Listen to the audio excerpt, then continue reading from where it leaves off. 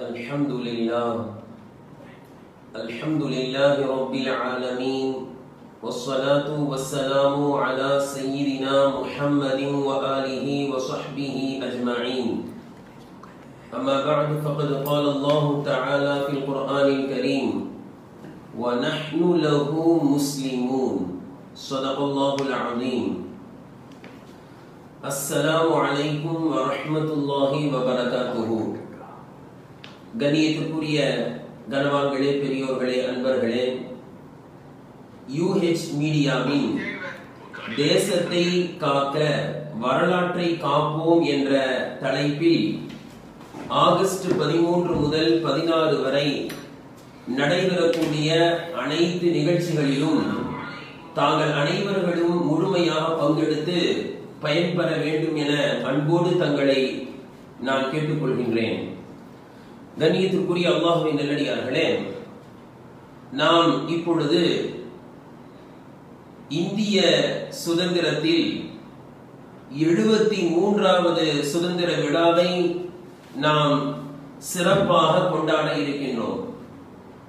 இந்த நேரத்தில் இந்த இந்திய சுதந்திரத்திற்காக வேண்டி இஸ்லாமியர்கள் எவ்வளவு பெரிய தியாகங்களை செய்திருக்கின்றார்கள் அந்த சரித்திரங்கள் என்ன என்பதை பார்ப்பதற்கு முன்பாக இந்தியா குறித்த இஸ்லாமியர்களுடைய நிலைப்பாடு என்ன? இந்தியா குறித்து இஸ்லாமியர்களுடைய இதய குரல் என்ன என்பதை நாம் பார்க்க போகின்றோம். இதை பொதுவாக இந்தியாவில் வசிக்கின்ற மாற்று மத சகோதரர்கள் முதலில் விளங்க வேண்டும். கண்ணியத்திற்குரியவர்களே இந்தியா குறித்த இஸ்லாமியர்களுடைய இதய பொருள் என்னவென்றால் இந்தியா எங்கள் தாய்நாடு இஸ்லாம் எங்கள் வழிபாடு. இந்தியா எங்களுடைய இதயத்தோடு இணைந்த நாடு. பாரதம் என்பது எங்களுடைய பாசத்திற்குரிய தேசம். இந்த நாட்டில் இந்திய திருநாட்டில் நாங்கள் பிறந்ததையே பெருமையாக கருதுகின்றோம். நாட்டு பற்று என்பது எங்களுடைய நாடின் நரம்புகளில் ஓடக்கூடிய ரத்தம் நாட்டுப்பற்று பாசம் என்பது நாட்டுப்பற்றையும் நாங்கள் இந்த திருநாட்டின் மீது வைத்திருக்கக்கூடிய பாசத்தையும் அந்த நாட்டுப்பற்று பாசம் என்பது இல்லாதவர்கள் தான் எங்களுடைய நாட்டுப்பற்றை பற்றி சந்தேகப்படுவார்கள். இந்தியாவும் இஸ்லாமும் முஸ்லிம்களாகிய எங்களுடைய இரண்டு கண்கள் இரண்டு கண்களில் எதையும் எங்களால் சேதப்படுத்திக் கொள்ள முடியாது. நாங்கள் இந்தியாவையும் பாதுகாப்போம். பாதுகாத்துக் கொண்டிருக்கின்றோம் இனியும் பாதுகாப்போம். இந்தியாவையும் பாதுகாப்போம் இஸ்லாத்தையும் பாதுகாப்போம். அதாவது இந்த இந்திய திருநாட்டில் நாங்கள் இஸ்லாமிய கலாச்சாரங்களை இஸ்லாமிய கலாச்சாரங்களை இந்த இந்திய திருநாட்டில் நாங்கள் பகிரங்கமாக பின்பற்றுவதோடு நாங்கள் இந்தியர்கள் என்ற பெருமிதத்தோடு வாழ்ந்து கொண்டிருந்தோம் வாழுகின்றோம் இனியும் வாழ்வோம். பகிரங்கமாக இஸ்லாத்தை பின்பற்றுவோம். அதே நேரத்தில் இந்தியர்கள் என்ற பெருமிதத்தோடு நாங்கள் வாழ்வோம். கண்ணியத்துக்குரிய அன்பர்களே நாங்கள் இந்திய சுதந்திரத்திற்காக வேண்டி பாடுபட்ட தியாகங்கள் இருக்கின்றதே அந்த தியாக சரித்திரம் அமுக்கப்படலாமே தவிர அழிக்கப்பட முடியாது. இந்த இந்திய சுதந்திரம் என்பது பல்லாயிரம் பல லட்சக்கணக்கான முஸ்லிம்களுடைய உயிர் தியாகங்கள். பல ஆயிரம் மார்க் அறிஞர்கள் என்று சொல்லப்படக்கூடிய உளமாக்கள் இன்னும் இஸ்லாமிய மன்னர்களுடைய விலை மதிக்க முடியாத உயிர்கள் அவர்களுடைய விதவையாக்கப்பட்ட மனைவிகள் அனாதைகளாக ஆக்கப்பட்ட குழந்தைகள் இவைகள் அனைத்திற்கும் பரிசாகத்தான் ஆயிரத்தி தொள்ளாயிரத்தி நாற்பத்தி ஏழு ஆகஸ்டில் ஆகஸ்ட் பதினைந்தாம் நாள் நள்ளிரவில் இந்த இஸ்லாமியர்களுடைய மிகப்பெரிய தியாகத்திற்கு பரிசாகத்தான் சுதந்திரம் கிடைத்தது. உண்மையை சொல்வதாக இருந்தால் உண்மையை சொல்வதாக இருந்தால் இந்த இந்திய திருநாட்டை பிடித்த ஆங்கிலேயர்கள் இஸ்லாமியர்களை மட்டும் குறிவைத்து இஸ்லாமியர்களை இந்த இந்திய திருநாட்டில் முற்றிலுமாக அழிக்க வேண்டும் என்று தீர்மானம் செய்து அவர்கள் செயல்பட்டார்கள். எந்த அளவிற்கு என்றால் ஆங்கிலேய ஆங்கிலேய லார்டு லாபர்ட்ஸ் என்பவர் ஆங்கிலேயர் அவர் சொல்கின்றார் ஆங்கிலேய படை இஸ்லாமியர்களை பல்லாயிரக்கணக்கில் இஸ்லாமியர்களை குறிவைத்து பல்லாயிரக்கணக்கான இஸ்லாமியர்களை கொன்று அவர்களுடைய பிணங்களை தெருக்களில் குவித்து போட்டார்கள். இஸ்லாமியர்களுடைய பிண குவியல் ஒவ்வொரு தெருவிலும் இருந்தது. அந்த ஆங்கிலேயர் சொல்கின்றார் அந்த பிணங்களை கழுகுகளும் நாய்களும் தெருவில் நின்று தின்று கொண்டிருந்தன. அதை பார்த்த என்னுடைய இதயமே கனத்து விட்டது. என்னுடைய குதிரைகள் ஆடிவிட்டது. இஸ்லாமியர்களுடைய பிணங்கள் கேட்பாரற்று கழுகுகளும் நாய்களும் தெருவில் நின்று கொண்டிருந்து நின்று தின்று கொண்டிருந்த அந்த காட்சியை என்னால் தாங்க முடியவில்லை என்று அந்த லார்ட் ராபர்ட்ஸ் என்பவர் கூறுகிறார். எனவேதான் சொல்கின்றோம் வரலாற்று உண்மை என்ன தெரியுமா? இந்த இந்திய சுதந்திரத்திற்காக வேண்டி இஸ்லாமியர்கள் சிந்திய ரத்தத்தின் அளவிற்கு இஸ்லாமியர்கள் சிந்திய ரத்தத்தின் அளவிற்கு கூட மற்றவர்கள் வேர்வையை சிந்திருக்க மாட்டார்கள். முஸ்லிம்களை மட்டுமே குறிவைத்து காலை முதல் மாலை வரை தெருக்களில் பகிரங்கமாக தூக்கில் ஏற்றுவதும் இறக்குவதுமாகவே இருந்து கொண்டிருந்தார்கள். ஒருவரை தூக்கில் ஏற்றுவார்கள் இறக்கிய பிறகு மற்றொருவரை ஏற்றுவார்கள் தூக்கு மேடையிலே.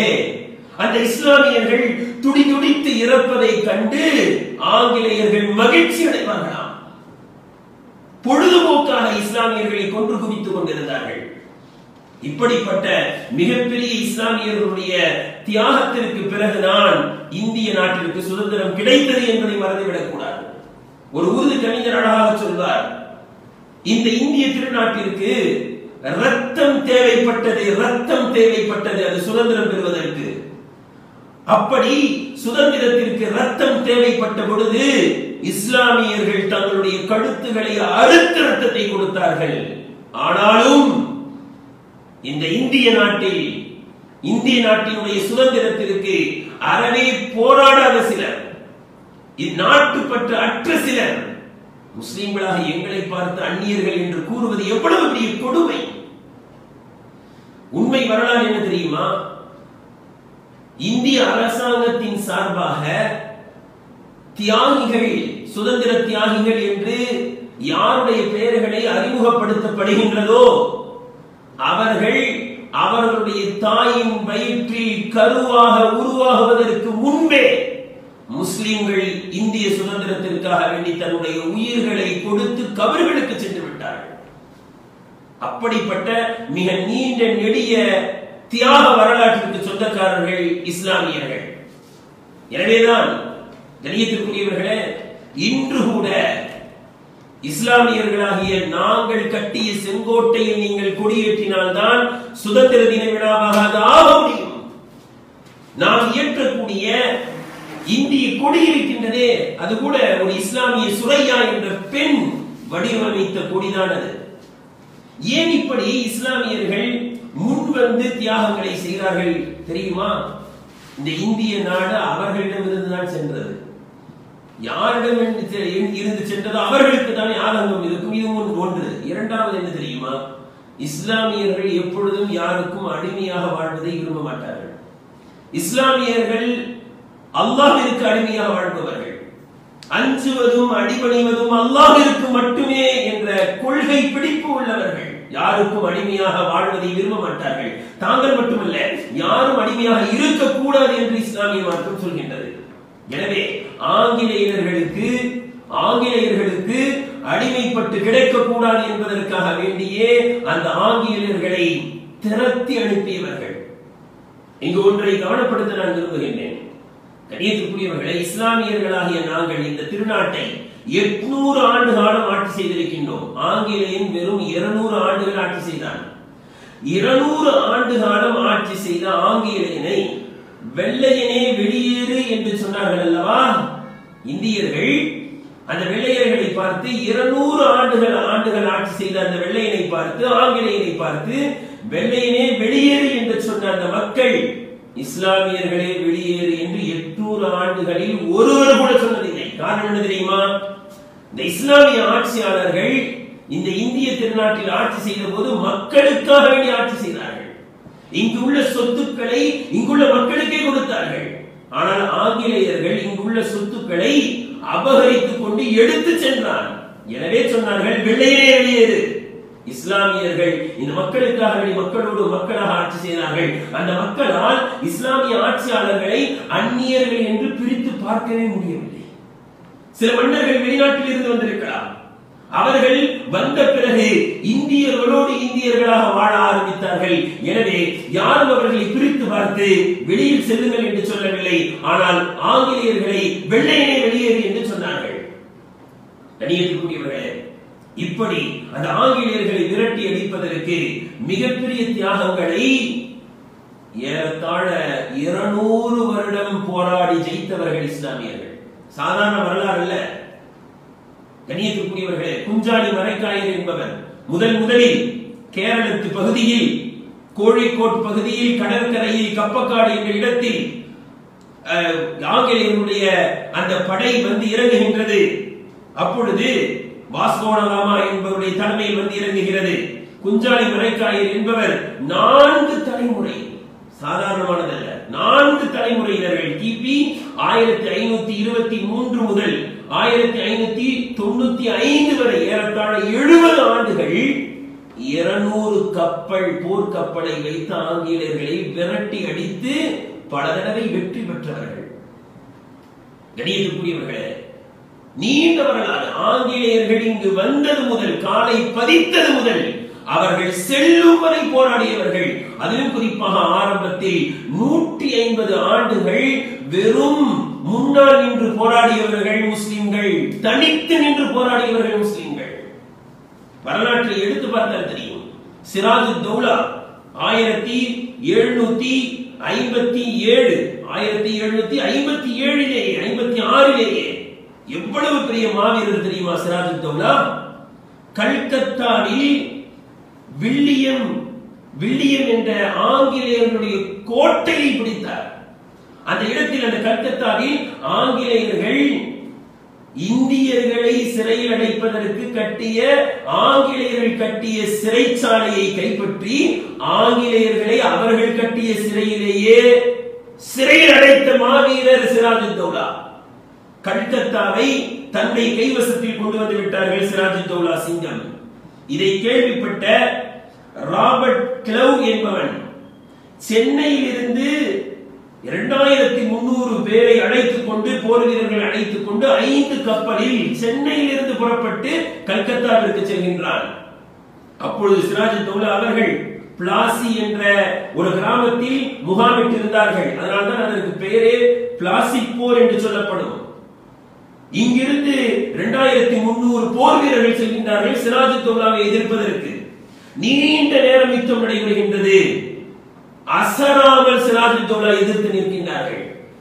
பயங்கரமான கன- கனமழை பொழிகின்றது. சிராஜ் தோலாவிடத்தில் இருந்த வெடிப்பொருட்கள் எல்லாம் மழையில் நினைந்த காரணத்தினால் செயலிழந்து நிற்கின்றது. சிராஜு தோலாவுடைய படையில் இருந்த தளபதிகள் தளபதிகள் ஆங்கிலேயர்களுக்கு அடிமையாக ஆகிவிட்டார்கள். இருந்தாலும் ஆங்கிலேயனுக்கு முன்னால் சரணடைய சரணடைய சரணடையவில்லை சிராஜு ஆங்கிலனுக்கு ஆங்கிலேயனுக்கு முன்னால் கைகட்டி நிற்கவில்லை. கடைசி மூச்சு வரை ஆங்கிலேயனை எதிர்த்து போராடி வீரமரணம் அடைந்தார்கள். கணியத்திற்குரியவர்களே அதே போன்று இந்த இந்திய வரலாற்றில் சுதந்திர வரலாற்றில் மைசூர் புலி மாவீரர் திப்பு சுல்தான் ஷஹீத் ரஹமத்துல்லாஹி எப்படிப்பட்ட ஒரு அழகான வரலாற்றுக்கு சொந்தக்காரர்கள் தெரியுமா? ஆயிரத்தி எழுநூத்தி அறுபத்தி ஒன்னில் இருந்து ஆயிரத்தி எழுநூத்தி தொண்ணூத்தி ஒன்பது வரை ஏறத்தாழ எழுபது ஆண்டுகள் ஏறத்தாழ நாற்பது ஆண்டுகள் அவர்களுடைய தந்தை ஹைதர் அலியும் திப்பு சுல்தான் அவர்களும் நாற்பது ஆண்டுகள் வெள்ளையர்களுக்கு சிம்ம சொப்பனமாக திகழ்ந்தார்கள். சிம்ம சொப்பனமாக. எந்த அளவிற்கு ஆங்கிலேயர்களை எதிர்த்தார்கள் என்றால் பிறந்த மண்ணில் இருந்து இந்த இந்திய திருநாட்டில் இருந்து ஆங்கிலேயர்களை விரட்டி அடிக்காதவரை பஞ்சு மெத்தையில் நான் உறங்க மாட்டேன் என்று சூழ வைத்தார்கள். திப்பு சுல்தான் ஷஹீத் ரஹமத்துல்லாஹி அவர்கள்.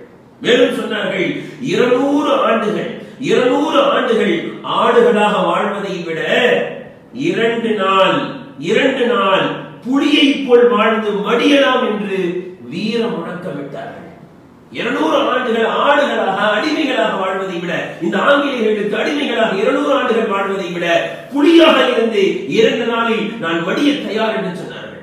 வெள்ளையினுடைய உப்பை வெளிநாட்டு உப்பை என்னுடைய உணவில் சேர்க்க கூடாது என்று சொல்லியிருந்தார்கள்.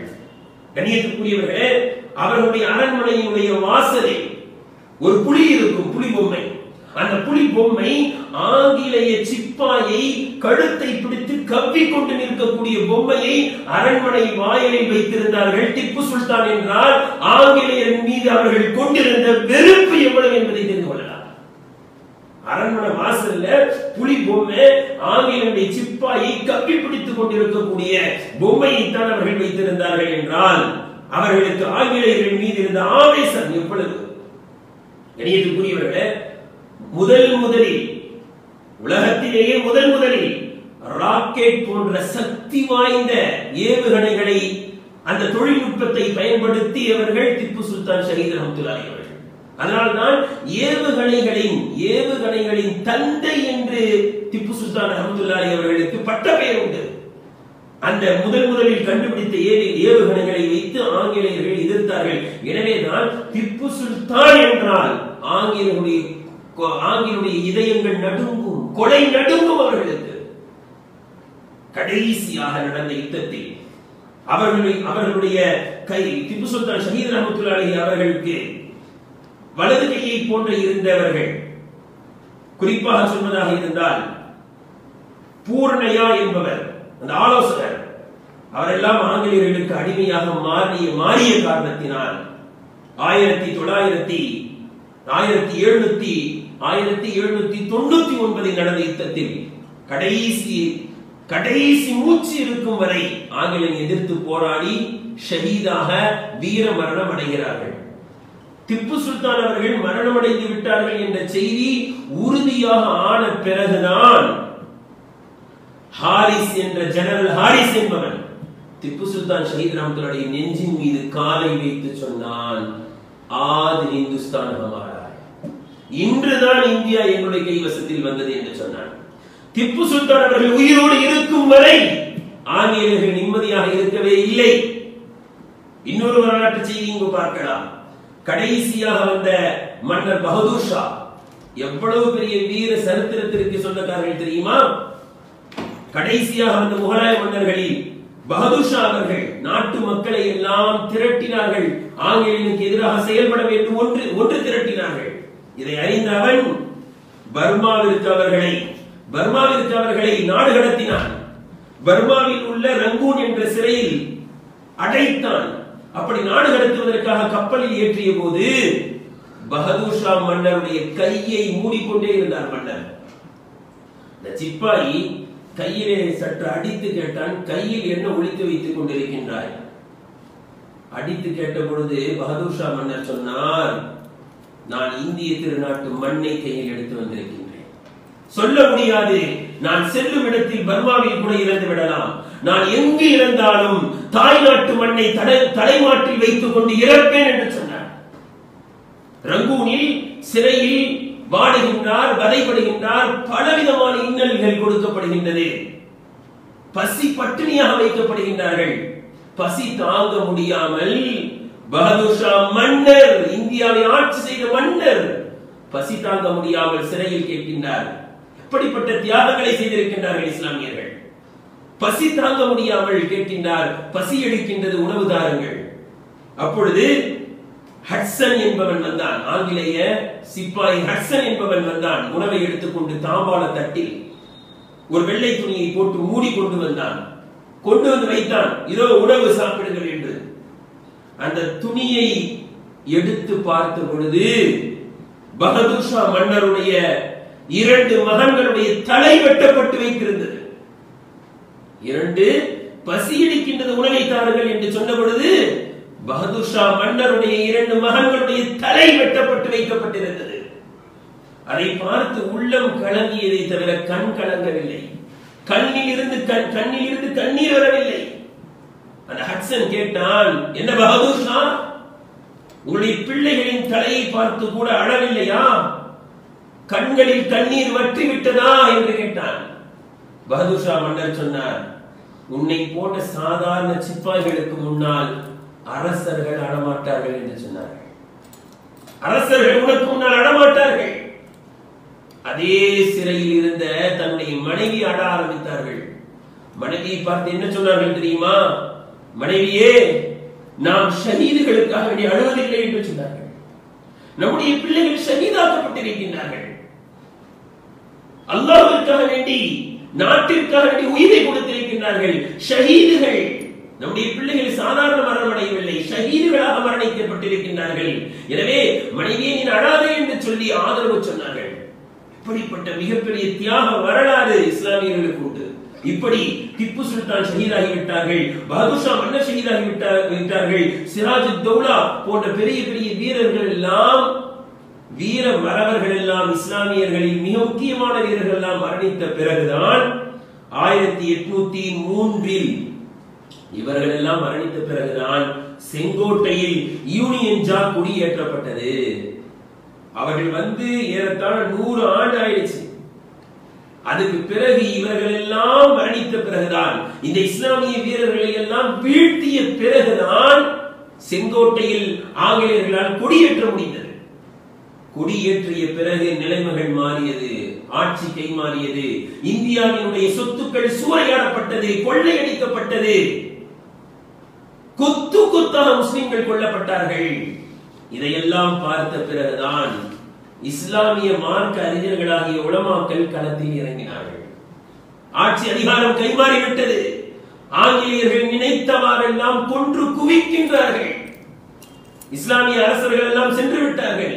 இதற்கு பிறகு களத்தில் இறங்கிய ஆளுங்கள் மிக வீரியமாக பிரச்சாரத்தில் இறங்கினார்கள். ஆங்கிலேயர்களை விரட்டி அடிப்பது இஸ்லாமியர்களாகிய நம்முடைய கட்டாய கடமை என்று ஃபத்வா கொடுத்தார்கள்.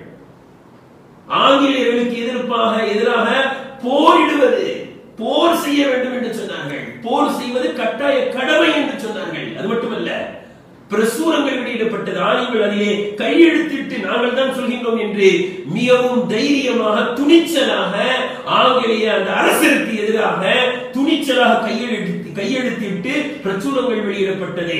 பல இடங்களில் சுவரொட்டிகள் ஆங்கிலேயருக்கு எதிர் எதிர்ப்பாக சுவரொட்டிகள் பேனர்கள் வைக்கப்பட்டது.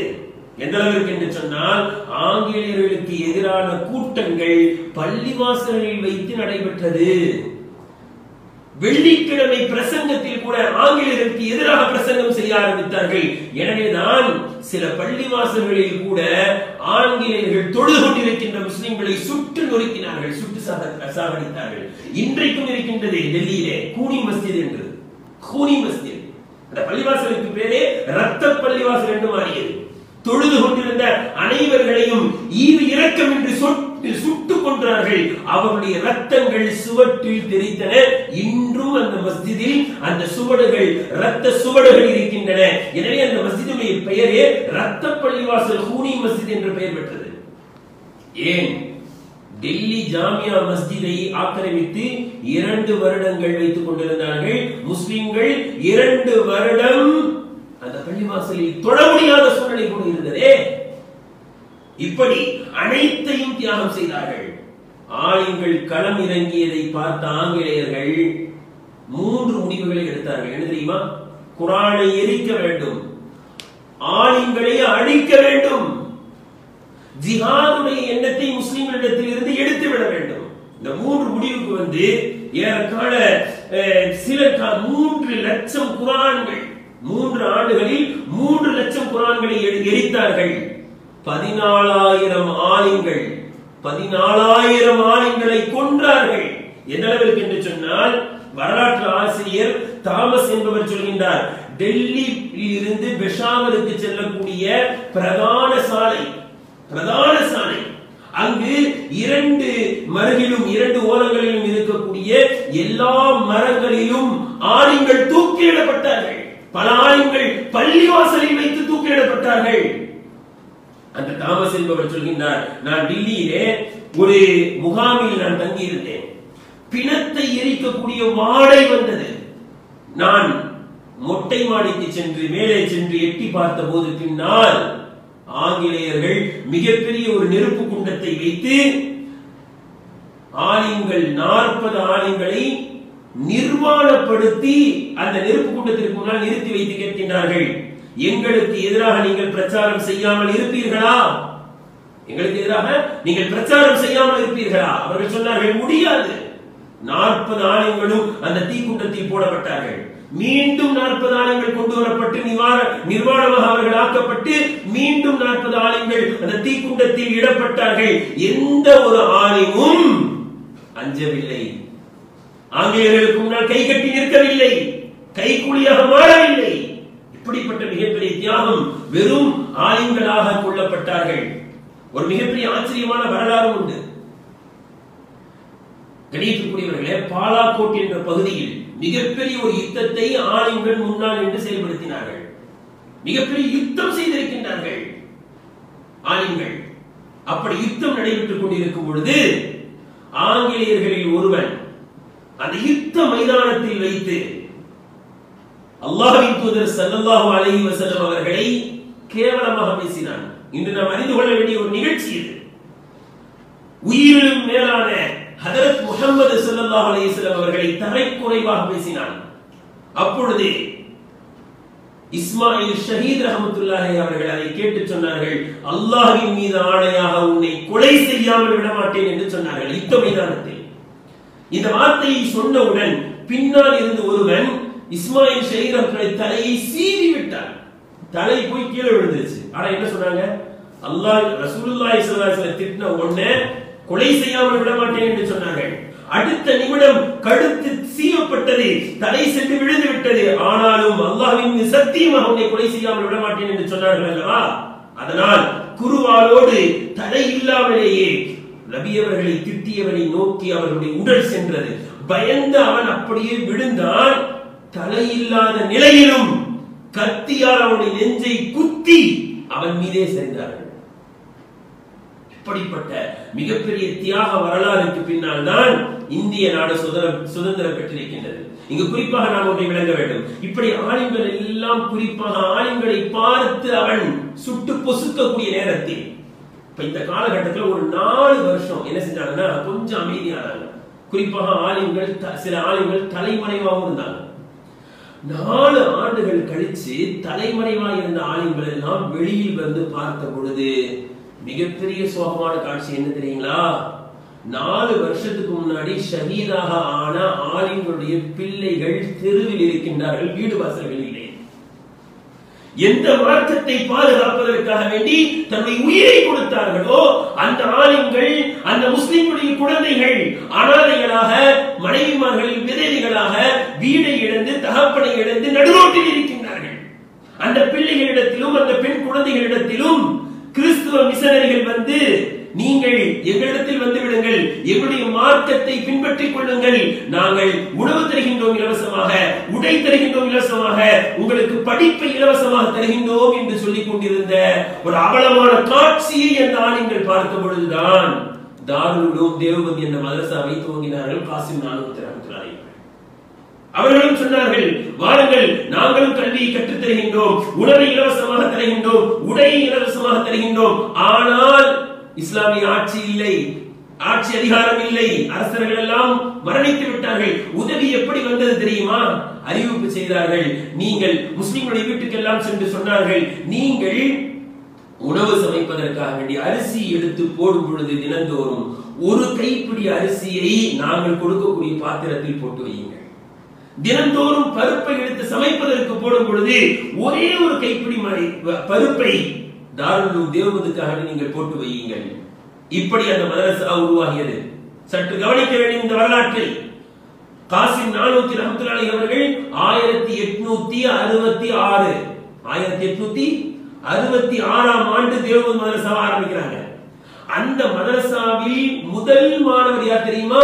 முதல் மாணவர் மஹமூத் அல் ஹசன் ஷேகுல் ஹிந்த் என்று சொல்லப்படக்கூடிய இந்திய நாட்டினுடைய ஷேக் என்று சொல்லப்படக்கூடிய மஹமூத் ஹசன் ரஹமத்துல்லா தான் முதல் மாணவர். இவங்க பெருசான வரைக்கும் இந்திய சுதந்திர போராட்டம் நடந்துட்டு இருக்கு. சாதாரண வரலாறு இல்ல. இவங்க பெரியவராக ஆகி ஓதி முடிச்ச பிறகு மால்டா சிறையில இவங்க அடைக்கப்படுறாங்க. எவ்வளவு நீண்ட வரலாறு. மால்டா சிறையில் அடைக்கப்பட்டு பல சித்திரவதைகள் செய்யப்பட்டு பல வருடங்களுக்கு பிறகு மால்டா சிறையில் இருந்து விடுபட்டு வருகின்றார்கள் இந்தியாவிற்கு. அப்படி இந்தியாவிற்கு வந்த பிறகு ஒரு ஆலோசனை கூட்டம் நடக்குதுங்க. அப்பொழுது அவங்க சொல்றாங்க முஸ்லீம்கள் மட்டும் இப்ப போராடக்கூடாது. முஸ்லீம்கள் மட்டும் குறி வச்சு கொத்து கொத்தா கொண்டு இருக்காங்க இந்து மக்களையும் இணைக்கணும் அப்படின்னு சொல்லி ஒரு ஆலோசனை கூட்டம் நடந்துச்சு.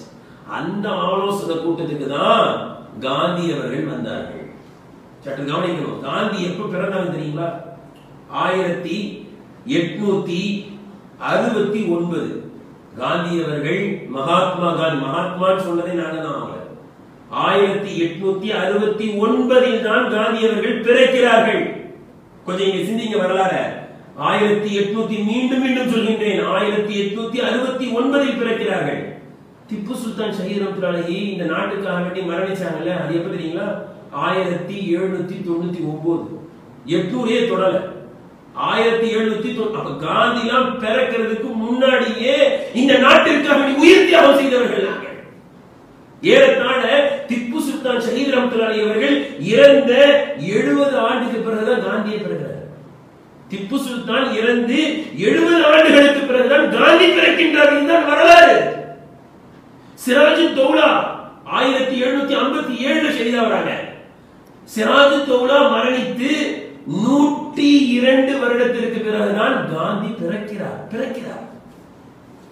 பிறந்த உடனே யுத்தத்துக்கு வந்துட்டாங்களா? சுதந்திர போராட்டத்துக்கு வந்துட்டாங்களா? அவங்க தென்னாப்பிரிக்கா போய் படிக்க போயாச்சு. ஆயிரத்தி தொள்ளாயிரத்தி பதினஞ்சுல தான் இந்தியாவுக்கு வர தென்னாப்பிரிக்கால இருந்து அதற்கு பிறகு நடந்த ஆலோசனை. தேவபுரி மதரசு ஆரம்பிச்சு அதுல ஓதுன மாணவர் பெரிய ஆளாகி அவங்க காந்தியை வந்து ஒரு வாலிபர் நல்ல வாலிபராக தேர்வு செய்கின்றார்கள். அவர்களுடைய தலைமையில் செயல்பட வேண்டும். அந்த காந்தி அவர்கள் காந்தி அவர்கள் மகாத்மா காந்தி அவர்கள் இந்தியா முழுக்க அவர்கள் சுற்றுப்பயணம் செய்ய- வேண்டும். அப்பதான் எல்லாருக்கும் தெரியும். அந்த சுற்றுப்பயணம் செய்வதற்கு ஜமியத்துல் உலமா இந்து தான். இந்த இஸ்- இஸ்லாமியர்களுடைய இயக்கம் தான் பணம் வசூல் செய்து கொடுத்தது காந்தி அவர்களுக்கு. இப்படிப்பட்ட ஒரு சரித்திரத்திற்கு சொந்தக்காரர்கள் இஸ்லாமியர்கள். நீங்கள் எந்த இஸ்லாம் இந்திய சுதந்திரத்தில் எந்த வரலாற்று நிகழ்ச்சியை எடுத்து பார்த்தாலும் இஸ்லாமியர்கள் முன்னிலை வகிப்பார்கள் நீங்கள் எல்லாம் கேள்விப்பட்டிருப்பீர்கள் நேதாஜி சுபாஷ் சந்திர போஸ் அவர்கள் ஆரம்பித்தார்கள் இந்தியன் நேஷனல் ஆர்மி ராணுவ படை. அதற்கு அந்த காலத்திலேயே ஒரு கோடி வழங்கினார்கள் வல்லல் ஹபீப் முகமது என்பவர்கள். ஒரு கோடி. அந்த நேதாஜி அவர்கள் ஆங்கிலேயர்களுக்கு எதிர்ப்பாக ஆரம்பித்த ராணுவம் அதற்கு தளபதி யார் தெரியுமா? தளபதி ஷா நவாஸ் கான் என்ற ஒரு முஸ்லிம் தான் அதற்கு தளபதி. ஒரு கோடி கொடுத்தவர்கள் இஸ்லாமியர்கள். நீங்கள் எல்லாம் கேள்விப்பட்டிருக்கீங்க ஸ்கூல் புக்கில் படிச்சிருக்கோம். என்னது? கப்பலுடைய தமிழர். அந்த கப்பலை வாங்கணும். நாமளே வெளிநாட்டு சரக்கு எடுத்துட்டு வரணும். ஆங்கிலிட்டு வாங்கக்கூடாது எதையுமே. முடிவு செஞ்சு கப்பல் வாங்குறதுக்கு பாரதியார் அவர்கள் நடத்திய ஒரு பத்திரிகையில விளம்பரம் தராங்க. கப்பல் பாபனும் காசு தாங்க கப்பல் பாபனும் காசு தாங்க விளம்பரம் போயிட்டே இருக்கு. எவ்வளவு காசு தெரியுங்களா சேர்ந்துச்சு? இருநூத்தி பதினஞ்சு ரூபாய் இருநூத்தி பதினஞ்சு ரூபாய் பதிமூணு ஆனா. இதுதான் மத்தவங்க கொடுத்தது. அந்த நேரத்திலேயே கப்பல் வாங்குவதற்கு ஃபக்கீர் முகம்மது என்பவர் ஒரு லட்சம் ரூபாய் கொடுத்தார். இது போன்ற மிக அற்புதமான வரலாற்றுக்கு சொந்தக்காரர்கள் கடைசியாக ஒன்றை மட்டும் சொல்லி முடித்துக் கொள்கின்றேன். இந்த இந்திய சுதந்திரத்திற்கு இப்படிப்பட்ட மிகப்பெரிய தியாகத்திற்கு பிறகுதான் இந்திய சுதந்திரம் கிடைச்சிச்சு. எப்ப கிடைச்சிச்சு? ஆயிரத்தி தொள்ளாயிரத்தி நாற்பத்தி ஏழாம் ஆண்டு நாற்பத்தி ஏழாம் ஆண்டு ஆகஸ்ட் பதினைந்தாம் நாள் இரவு நேரத்துல கிடைச்சிச்சு. நள்ளிரவு கிடைச்சிச்சு. இதை பத்தி நேரு அவர்கள் சொல்லும் போது என்ன சொல்றாங்கன்னா உலகமே ஆழ்ந்த உறக்கத்தில் இருந்த பொழுது உலகமே ஆழ்ந்த உறக்கத்தில் இருந்த இருந்த பொழுது இந்தியா விழித்துக் கொண்டது. உலகமே ஆழ்ந்த உறக்கத்தில் இருந்த பொழுது இந்தியா விழித்துக் கொண்டது என்று சொன்னார். ஆனால் உண்மை என்ன தெரியுமா? உலகம் வேண்டுமானால் ஆழ்ந்த உறக்கத்தில் இருந்திருக்கலாம். அன்றைய இரவும் இஸ்லாமியர்கள் விழித்துக் கொண்டு தான் இருந்தார்கள். என்ன தெரியுமா? லைலத்துல் கதிர் என்று சொல்லப்படக்கூடிய ரமலானுடைய இருபத்தி ஏழாம் இரவு. முழு குரானை முழுமையாக முடித்துவிட்டு முழு இரவும் விழித்து இந்தியாவிற்காக வேண்டி துவா செய்து கொண்டிருந்த இரவு இஸ்லாமியர்கள் அன்றைய இரவும் தூங்கவில்லை. அன்றைய காலகட்டத்தில் ஹஜ்ஜிற்கு சென்றால் இஸ்லாமியர்கள் காபத்துல்லாவுடைய திரையை பிடித்துக் கொண்டு என்ன துவா செய்தார்கள் தெரியுமா? யா அல்லா எங்களுடைய இந்திய திருநாட்டிற்கு நீ விடுதலை தருவாயாக என்று தான் காபத்துல்லாவுடைய திரையை பிடித்துக் கூட துவா செய்தார் இப்படிப்பட்ட உள்ளத்தாலும் உயிராலும் தியாகங்களை செய்து கிடைத்த சுதந்திரம் தான் இந்தியாவிற்கு சுதந்திரம். எனவே எப்படி கணியத்துக்குரியவர்களே இன்றும் இஸ்லாமியர்கள் அசந்து விடவில்லை. வெள்ளையர்களை எப்படி வெளியாக்கினார்களோ அதே வீரத்தோடு இன்று முஸ்லிம்கள் இருக்கின்றார்கள். வெள்ளையர்களை வெளியாக்கியதை போன்று கொள்ளையர்களையும் இன்ஷா அல்லாஹ் வெளியாக்குவோம்.